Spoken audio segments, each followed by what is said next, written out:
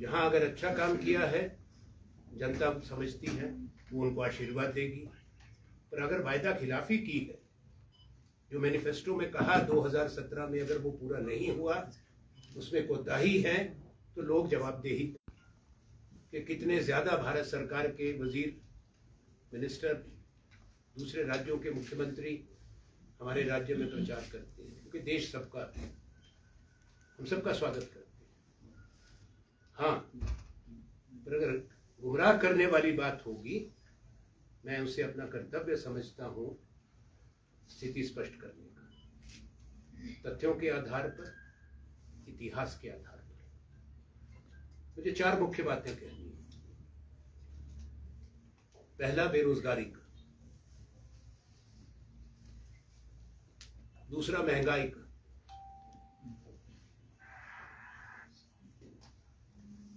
तीसरा देश की अर्थव्यवस्था के हालात का। और चौथा, कांग्रेस के दर्शक। और इस सरकार की नाकामी महँगाई इसलिए क्योंकि हमारी युवा पीढ़ी जो भागीदार हैं, हर समाज, हर देश के भविष्य के लिए आज वो आकाश है। जो वायदे उनके साथ किए गए केंद्र की सरकार के राज्य की सरकारों ने रोज़गार पैदा करने के, वो रोज़गार पैदा नहीं हो रहे। बेरोजगारी बढ़ी है। और आज़ादी के बाद हिंदुस्तान ने सबसे ऊँची दर बेरोजगारी की है।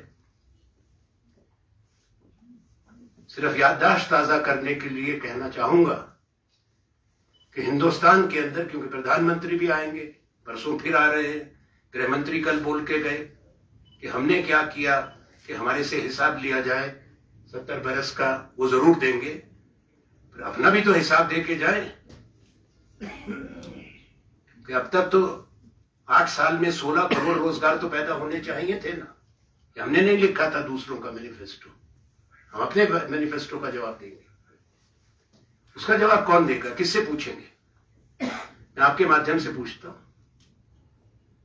दूसरा, जब बेकारी की बात है, जो लेबर फोर्स है वर्क फोर्स ये सरकारी आंकड़े हैं, मेरे नहीं, कांग्रेस पार्टी के नहीं।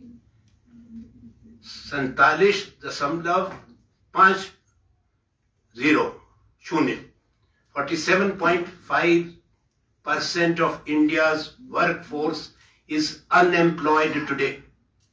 Is an alarming number because the number of people who are employed are only 43 per, percent of the workforce.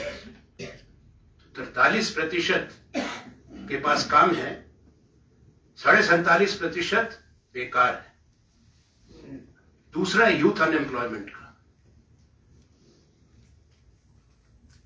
क्योंकि भारत का जो बाहुल्य है हमारी जनसंख्या का। लगभग चौसठ प्रतिशत वो युवा पीढ़ी। मीडियन एज भारत की 28 है 28 बरस। That's the age of India 22 प्रतिशत से ऊपर यूथ अनएम्प्लॉयमेंट है 22 percent plus that is the percentage of youth unemployment which is alarming. What this country has seen and what is being claimed is jobless growth. चाहे राज्य सरकार की नौकरियाँ हैं हिमाचल में तिरसठ चौसठ हज़ार सरकारी पद रिक्त पड़े हैं नियुक्तियाँ नहीं हुई क्यों नहीं हुई केंद्र सरकार के आंकड़े निकालिए केंद्र सरकार की कितनी नौकरियाँ खाली हैं? अब रोज़गार मेला लगा है। पुराने इंटरव्यूज़ जिनके हो चुके थे कोविड के टाइम के चिट्ठियाँ दी जा रही हैं। क्योंकि चुनाव है, और दोनों राज्यों में सवाल हो रहा है, पर अभी तो पहले हिमाचल का है। दूसरी तरफ़ तो घोषणा भी नहीं कर पा रहे कि कब चुनाव होगा। मेरा इशारा गुजरात की तरफ़ है। तो हिमाचल की बात आज हो गया, मेरे को मालूम नहीं था, अच्छी बात है तारीख पता एक अच्छा मुबारक हो। फिर तो दोनों पे लागू हो जाती है मेरी बात। हमारा राष्ट्रीय दल है ना? इसलिए जो हम कहते हैं अपने यहाँ के लिए तो प्रचार के हैं पर वहाँ भी लागू है क्योंकि डबल इंजन सरकार है। हम नहीं कहते वो कहते राज्य तो अपनी सिंगल इंजन पर ही ठीक चलते थे। अब डबल इंजन है तो डबल इंजन का भी तो जवाबदेही तय करेंगे ना। यहाँ के इंजन की भी और वहाँ के इंजन की भी। दोनों की बात करेंगे। तो ये वस्तु स्थिति है, वास्तविकता है, देश की। सेंट्रल आर्म्ड पैरामिलिट्री फोर्सेस में नियुक्ति नहीं हुई। भारत की सेना में जहाँ एक लाख से ज़्यादा भर्ती होती थी। एक साल पे। कोविड की वजह से नहीं हो पाई। अब जब भर्ती करने का समय आया तो पूरी स्कीम को बदल दिया गया। और ये एक अपने आप में बहुत मुद्दा है, इसलिए मैं इसको केवल रोज़गार से नहीं जोड़ रहा। मैं उसको देश की सुरक्षा से भी जोड़ रहा हूँ। मेरा ये कथन अग्निपथ पर है। हमारे यहाँ से बहुत बड़ी संख्या में हमारे बेटे भारत की सेना में जाते हैं। बहुत हमारे बहादुर जवान, जिनको हर युद्ध में गैलेंट्री अवार्ड्स मिले। छोटा राज्य है, पर बहादुरों का देश प्रांत है। कितने परम वीर चक्र और महावीर चक्र हर युद्ध में हमारे हिमाचल के बेटों को मिले कितनी फौज में फौज के चीफ जनरल्स हिमाचल से हैं. हमारे बाजू के सूबों से हैं, राज्यों से हैं. बच्चे तैयारी करते हैं. एकेडमीज खुली हुई है कि भारत की सेना में जाएँगे. अब क्या किया है? मेरा सवाल है कि चार साल की लिए भर्ती आएँगे पच्चीस प्रतिशत फौज में रहेंगे. पचहत्तर प्रतिशत बाहर। कहते हैं पच्चीस प्रतिशत प्राइवेट सेक्टर लेगा। तो देश की फौज होती है, भारत की सेना। प्राइवेट सेक्टर उनको हम नहीं रख पाएँगे, देश नहीं रख पाएगा। तो प्राइवेट सेक्टर 25 प्रतिशत रख लेगा। देखेंगे।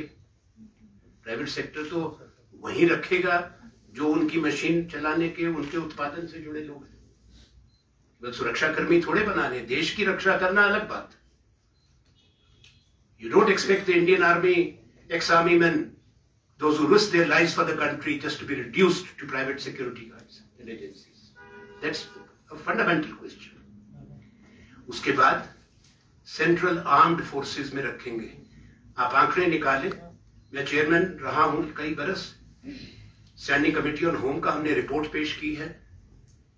जो अभी भी रिजर्वेशन है कि जो आर्मी से निकल के जाते हैं या पंद्रह साल के काम करने के बाद उनको रखा जाता है, पुलिस में भी उनको रखा जाता है। ये जो अर्धसैनिक दल हैं, सुरक्षा दल सेंट्रल आर्म पैरामिलिट्री फोर्सेस उनके आंकड़े निकाल लीजिए आप। जो रिजर्वेशन है, उसका पाँच प्रतिशत भी नियुक्तियाँ नहीं हुई है, भारत की सेना की फॉर्मर सोल्जर्स अब जो भर्ती होगी, अब ये कहना मैं अपमानजनक मानता हूँ कि 11 लाख रुपए उनको देंगे, जब जब। उसके बाद कुछ नहीं मिलेगा। आने की आर्मी की कैंटीन से राशन भी नहीं मिलेगा। कोई सेंट्रल गवर्नमेंट जो आप, आपको स्वास्थ्य के लिए मिलती है हेल्थ केयर का, कोई प्रोटेक्शन नहीं है, कोई पेंशन नहीं है। और वो 11 लाख में भी साढ़े पाँच लाख इन बहादुर जवानों के अपने होंगे सरकार के साढ़े पाँच लाख 22 साल की उम्र में बाहर, पहाड़ की तरह से ज़िंदगी सामने। ये क्या चिंता का विषय नहीं है?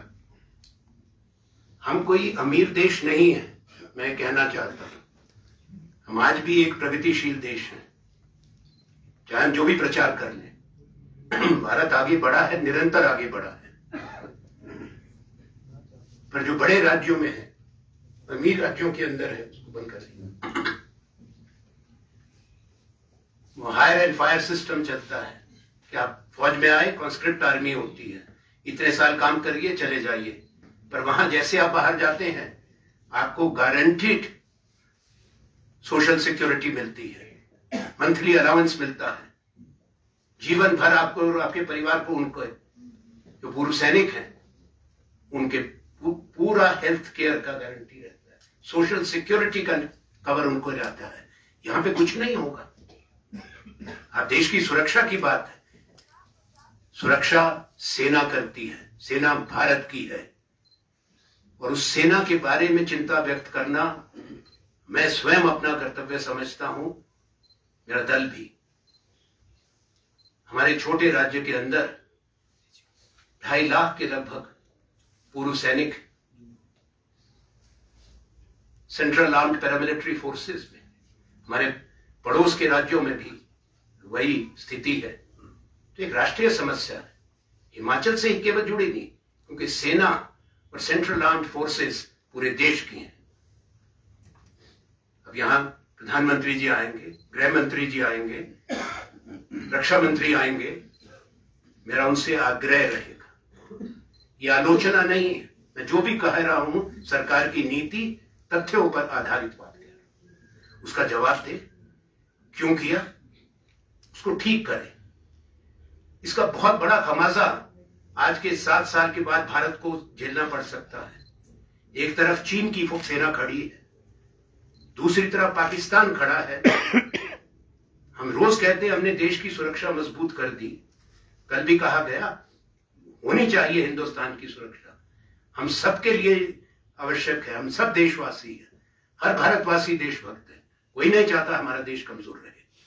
पर आज के सात साल के बाद इसका खमाजा हमको भुगतना पड़ेगा। जो किया है ये निर्णय, हमने कहा था इस पर पुनर्विचार करें। इसमें कम से कम पचास प्रतिशत की हमारी मांग है। पच्चीस नहीं, पचास प्रतिशत को उनको रेगुलर करना पड़ेगा। और भारत की सुरक्षा की भी आवश्यकता।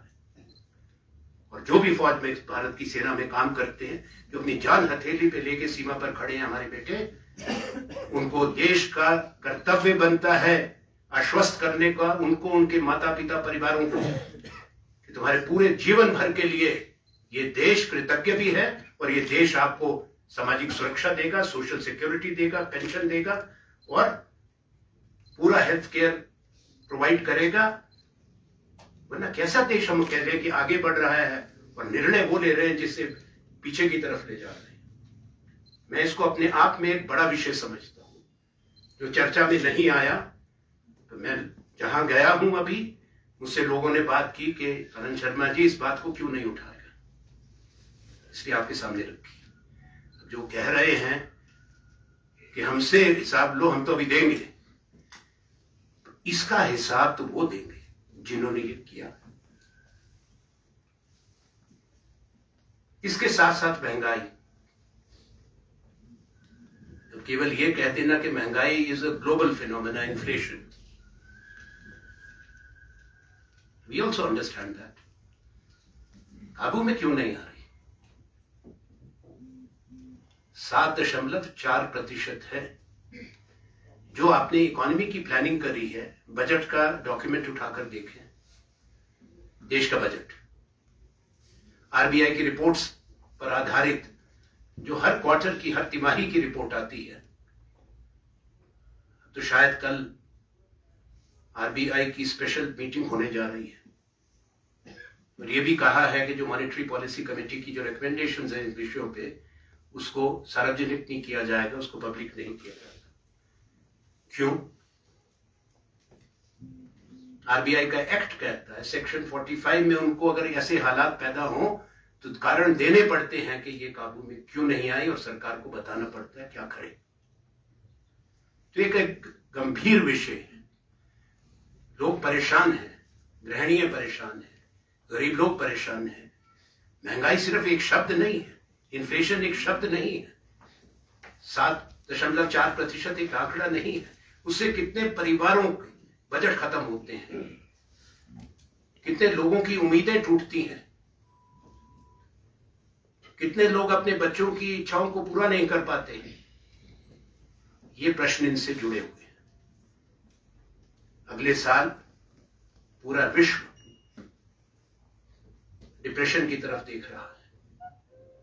अभी कौन से कारगर कदम हमने उठाए हैं जो इन कमियों को हम पूरा कर पाए? हमारे देश पे, हमारे समाज में इनइक्वालिटी बढ़ गई है। ये भी अचीवमेंट नहीं है we are one of the most unequal countries in the world today इस देश में मैं देख रहा था, जो एक प्रतिशत लोग, जो अमीर हैं, उनका देश की आमदनी का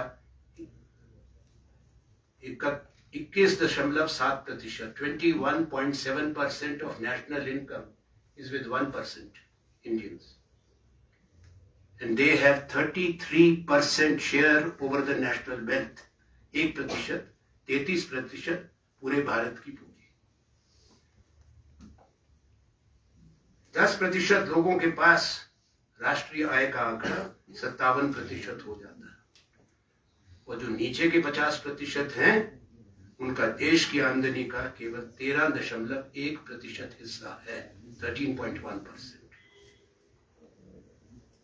और जो देश की पूंजी है, एक प्रतिशत के पास तैतीस प्रतिशत, पचास प्रतिशत जो नीचे के हैं, उनके पास पाँच दशमलव नौ प्रतिशत। ये वास्तविकता है भारत की। तो कैसी अर्थव्यवस्था चल रही इसी होटल में आते हुए अभी बहुत बड़ी होर्डिंग लगी है। वो इसी से जुड़ी है। अर्थव्यवस्था की स्थिरता, सफलता, शक्ति, यही लगी है। बाहर आपने भी देखी तो अब जब आ रहे हैं प्रचार में तो इन बातों का भी तो कुछ चर्चा करके जाए। वोट तो मांग रहे हैं। वोट तो मांगा था। वोट इनको मिला भी था। तो वोट मिलने के बाद अगर ये हुआ तो हम तो सवाल करेंगे। जनता भी सवाल कर रही तो इसका उत्तर, वो कोई एहसान नहीं करेंगे। हमारी मांग है, जनता की मांग है। और जवाब उनको देना पड़ेगा। जवाबदेही बनना जनता तय करेगी। बारह तारीख को जवाबदेही तय होगी हिमाचल के अंदर। इसमें कोई शंका मेरे मन में नहीं है, मेरे साथियों के मन में नहीं, और आपके भी मन में मुझे मालूम है, अधिकांश लोग समझ रहे हैं हालात क्या कोई ये सत्ता की लड़ाई नहीं है, सिद्धांतों की भी लड़ाई है। पहले तो बहुत सुना जाता था, सुनाया जाता था।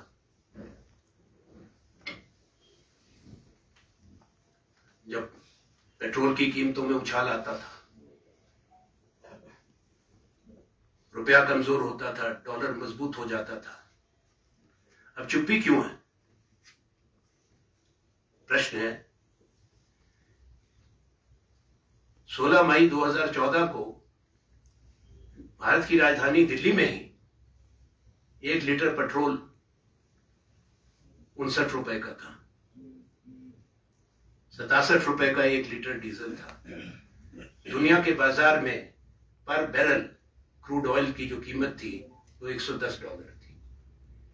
इनके यहाँ तो कभी 70 से ऊपर गए नहीं, अधिकांश समय तो 50 के नीचे रही।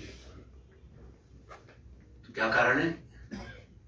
गैस के सिलेंडर इतना महँगा क्यों है? दुनिया के बाज़ार में क्या दाम है? अब ओपेक अपनी प्रोडक्शन काटेगी, आपकी और क्या तैयारी होगी? चुनाव के बाद आप कितना फिर बढ़ाने जा रहे हो? अभी चुनाव के वक्त तो ठंडे हैं। चुनाव के तुरंत बाद फिर बटन दबेगा। फिर एकदम से रोज बढ़ेगा। आप जब जाओगे अपने गैस सिलेंडर खरीदने, जब जाओगे अपनी गाड़ी में, स्कूटर में, पेट्रोल भरवाने, डीजल भरवाने तब पता लगेगा कि कितना और बढ़ गया। इनका असर सीधा पड़ता है उस पर ही नहीं पड़ता, पूरी अर्थव्यवस्था पर पड़ता है। आज क्या ये सवाल भी गलत हो गया कि जो रुपया अट्ठावन था vis dollar on sixteen of May 2014 एक डॉलर अट्ठावन आज वो तिरासी पे है। पिछले कल बयासी दशमलव अठहत्तर पैसे था। बयासी रुपए अठहत्तर पैसे। तिरासी को भी पार कर गया था। तो मेरा आग्रह रहेगा, भारतीय जनता पार्टी इनका केंद्रीय नेतृत्व, इनका सेंट्रल इंजन वो आके इस पे थोड़ी बात दर्शन करें, प्रकाश डालें, इन विषयों पे कि क्यों हो रहा है देश के अंदर?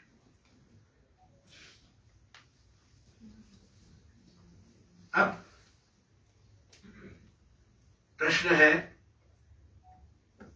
कांग्रेस का, कि कांग्रेस ने क्या किया? कल कहा गया, कोई और कहे, कई बार कह देते हैं लोग, गृहमंत्री कहते हैं कि जब वो प्रचार के लिए आए कांग्रेस के नेतृत्व उनसे हिसाब मांगिए कि क्या किया। हमने भारत बनाया, भारत के लोगों ने बनाया। पर एक दर्शन था, एक सोच थी, एक नीति थी। मैंने कल सोलन में कहा था, मैं उस पीढ़ी का हूँ जिन्होंने आज़ादी के बाद जन्म लिया अपने देश के सामने हिमाचल को बनते देखा, पूरा राज्य बनते देखा, यहाँ की तरक्की होते यहाँ विश्वविद्यालय बनते देखे, या संस्थाएँ बनती देखी, और हमको देश को भी बनते देखा। सरकारों में कोई एक सरकार ही नहीं बनाती, निरंतरता रहती है। तभी तो चुनाव होते हैं, सरकार आती जाती है तो देश की निरंतरता। पर 2014 में हम कहा छोड़कर गए थे? साढ़े चार सौ अरब डॉलर से ज़्यादा की विदेशी मुद्रा थी। दो ट्रिलियन डॉलर की इकोनॉमी थी। 323 बिलियन डॉलर का एक्सपोर्ट था भारत का। पिछले साल बहुत बड़ा जश्न मनाया गया। अच्छी बात है, मैं मुबारक देता हूँ कि 400 बिलियन डॉलर का एक्सपोर्ट हो गया। तो आठ साल के बाद बड़ी बढ़त हुई और वो 77 बिलियन डॉलर की हुई। तो 2008-9 के बाद 2009 जो बहुत बड़ा वित्तीय संकट दुनिया के पास सामने था। उसके पाँच वर्ष के भीतर भारत की एक्सपोर्ट्स दुगनी हुई थी। ये मैं बताना चाहता हूँ कि क्या हुआ। सत्ता परिवर्तन पहले भी हुआ था। अटल बिहारी वाजपेयी जी भी रहे थे वो इस देश के प्रधानमंत्री थे। आज भी हुआ है जो सरकार चुन के आती हैं। इसीलिए मुख्यमंत्री, प्रधानमंत्री को हम अपना मुख्यमंत्री और अपना ही प्रधानमंत्री कहते हैं। जन, देश के होते हैं। क्या उनसे पहले के प्रधानमंत्रियों के और मुख्यमंत्रियों के योगदान का स्मरण नहीं होना चाहिए? या वो सम्मान नहीं होना चाहिए? आपके माध्यम से कहना चाहता हूँ। क्या कारण क्या तीन रोज पहले अखबार भरे पड़े थे इश्तिहारों से एडवर्टीजमेंट से। अच्छा लगा। भारतीय राष्ट्रीय कांग्रेस के एक दिग्गज नेता, राष्ट्रीय अध्यक्ष, भारत के पहले उप प्रधानमंत्री और गृह मंत्री सरदार वल्लभ भाई पटेल जी की उस दिन जयंती मना रहे थे। मनानी चाहिए देश को। पर उसी दिन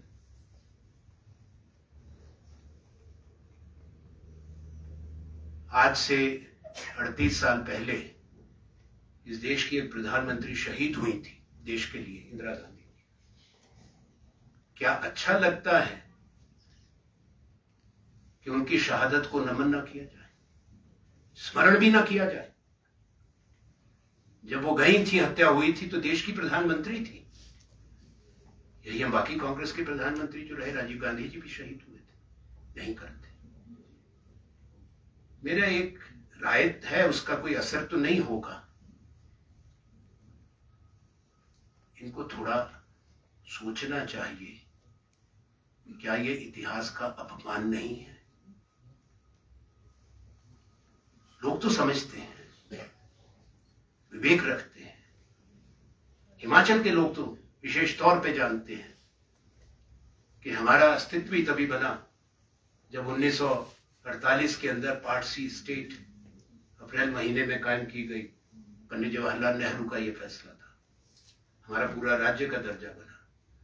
मुझे याद है, शिमला के अंदर उन्नीस सौ इकहत्तर, पच्चीस जनवरी खुली जीप में डॉक्टर यशवंत सिंह परमार के साथ प्रधानमंत्री इंदिरा जी आई थी। बर्फ़ पड़ रही थी। मेरी आयु 18 वर्ष की थी, जब पूरा राज्य बना तो ये निरंतरता रहती है, उपलब्धियाँ हैं। और क्या हुआ? बहुत लंबा ब्यौरा है, सारी डिटेल में नहीं जाऊँगा। पर इतना कहूँगा, महोदय, आप लोगों के आने से पहले भारत परमाणु शक्ति बन चुका था, अंतरिक्ष शक्ति बन चुका था। भारत चंद्रमा पर पहुँच चुका था, चंद्रायन मंगल पर जाने की तैयारी हो रही थी इसी भारत ने बहादुरी भी दिखाई जब समय आया मानवता के नाम पे। कल कहा गया, बालाकोट बालाकोट हो गया 2019 का।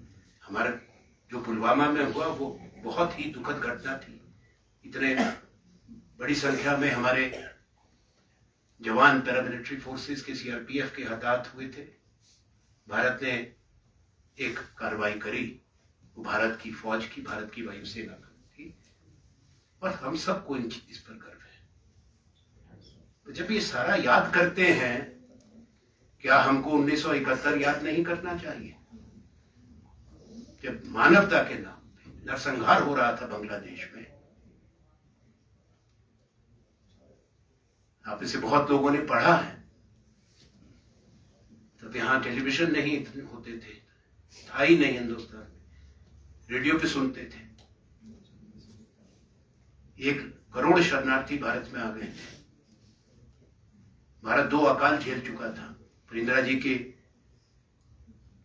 सोच से हरित क्रांति ग्रीन रेवोल्यूशन का काम चल पड़ा था। हमने एक करोड़ रेफ्यूजीज को रखा। बांग्लादेश आज़ाद कराया, पाकिस्तान के दो टुकड़े हुए। और द्वितीय विश्व युद्ध के बाद किसी फौज की सबसे बड़ी जीत हुई तो भारत की सेना की हुई। पाकिस्तान की पूरी सेना ने आत्मसमर्पण किया। वो बांग्लादेश आज एक स्वतंत्र राष्ट्र के रूप में है। जो भी देश के मंत्री होते हैं, हम शपथ देते हैं भारत के संविधान की।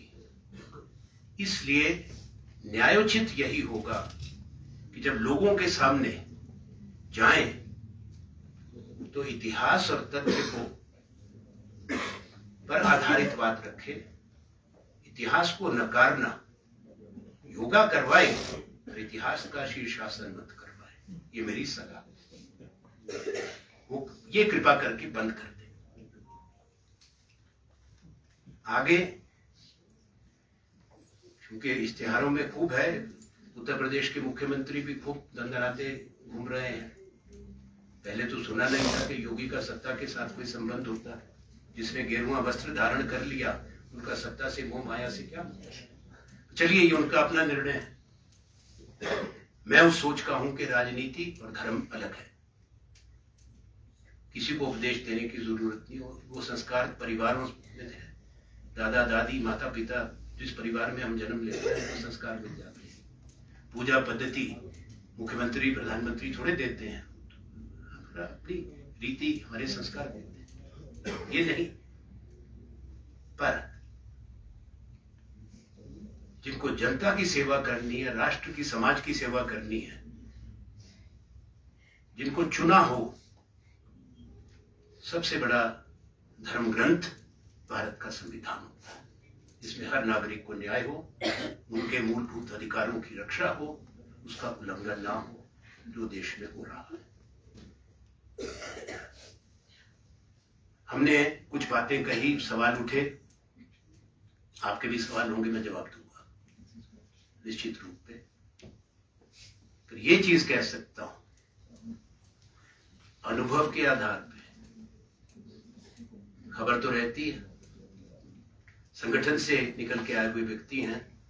सूचित जानकारी रहती है क्या हो रहा है। मैं आपको कह सकता हूँ, हिमाचल में बदलाव होगा, निश्चित है। कांग्रेस की सरकार बनेगी। और जो हम कह रहे हैं, आपके सहयोग और आशीर्वाद से, जनता के सहयोग से कांग्रेस की सरकार उसको पूरा करेगी।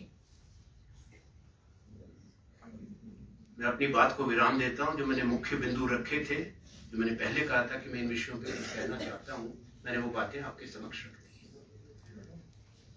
I be very happy to take the questions sir मेरा आपसे सवाल है। पहले अपना परिचय मेरा परिचय तो दे दिया। अ, सर मेरा नाम शिवेन कुमार है टिंज भारत से हूँ। किसे टिंज भारत। अच्छा। रिपोर्ट आपने अग्निपथ योजना का ज़िक्र किया उसमें आपने अग्निवीरों पर बड़ी बात कही कि 25 प्रतिशत नहीं 50 प्रतिशत को रेगुलर करना चाहिए। आपका शीर्ष नेतृत्व तो पहले ही स्पष्ट कर चुका है कि हम इस योजना को स्वीकार ही नहीं करते हैं। बयानों पर अगर फौज में पहले रा- एक मिनट। मैं अभी किसी कारण से बोल रहा हूँ। आज भी फौज में एक प्रतिशत है जो पंद्रह साल के बाद सेना से बाहर आ जाते हैं। पर उनको सारी सुविधाएँ मिलती हैं, उनको पेंशन मिलती है। उनके खुद भी जीवन चला जाए तो उनकी विधवाओं को पेंशन मिलती है। वो आर्मी की कैंटीन से राशन खरीद सकते हैं। वो सेंट्रल गवर्नमेंट हेल्थ सर्विसेज़ के उससे आर्म्ड फोर्सेज मेडिकल, जो क्लिनिक है, वहाँ पे जाके उनको पूरी सुविधा है। इनको कोई सुविधा नहीं है। परसेंटेज तो पहले भी रही। इसको दुगना क्यों नहीं करते और बाकी गारंटी करें सेंट्रल आर्म्ड पैरामिलिट्री फोर्सेस में सबको रखा जाए जो आप जो फिक्स्ड परसेंटेज है उसका हर साल का ब्यौरा दिया जाए। अगर उसमें कोई कमी रह गई है उसका जवाब दिया जाए। मैंने अग्निपथ के बारे में ये भी कहा अगर आपने पूरा सुना है मैंने ये भी कहा कि आने वाले सात साल के बाद मुझे चिंता है कि देश की सुरक्षा को हमारी तैयारी को हमारे इंतज़ाम को कितनी इससे चोट पहुँच सकती है।